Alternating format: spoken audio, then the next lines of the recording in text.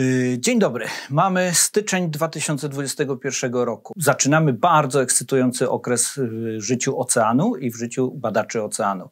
Y, rozpoczyna się dekada oceanów, którą y, ustanowiła Organizacja Narodów Zjednoczonych.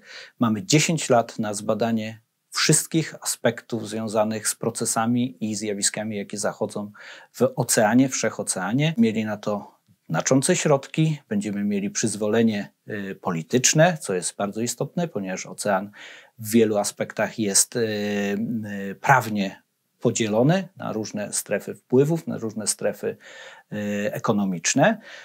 Będziemy mieli pełne wsparcie w badaniu zjawisk, które zachodzą w nim, ale co jest bardzo istotne, y, ludzkość w końcu zrozumiała, że ilość danych, które będziemy potrzebowali do analizy i poprawnego zrozumienia procesów zachodzących w oceanie, a tym samym zmiany klimatu, tak naprawdę, jest tak znacząca, że siłami naukowców, siłami projektów i programów badawczych nie jesteśmy w stanie sobie z tym poradzić.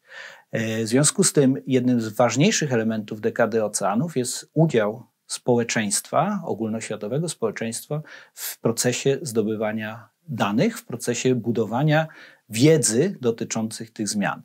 E, nazywa się to e, po polsku nauka obywatelska, czyli każdy z nas jest de facto po pierwsze chodzącą e, bazą danych, ponieważ żyjemy w środowisku, tyle ile lat żyjemy w tym środowisku, każdy z nas inaczej. Natomiast nie tylko, że żyjemy, ale jesteśmy obserwatorami, jesteśmy uczestnikami zmian w środowisku. W związku z tym jesteśmy w stanie przekazać informacje na temat tych zmian E, badaczom, czyli w skali tysięcy, w skali setek tysięcy osób, e, której jakikolwiek projekt badawczy nie jest w stanie e, ogarnąć. Po drugie, każdy obywatel ma szansę zaangażować się w badania naukowe, może kokreować z nami projekty badawcze na bazie swoich doświadczeń, na bazie swoich informacji i obserwacji i w związku z tym brać czynny udział w rozwiązywaniu tych problemów, które są dla nas jak najbardziej y, istotne i powiedziałbym nawet y, są kluczowe dla przetrwania w dłuższej skali czasu ludzkości.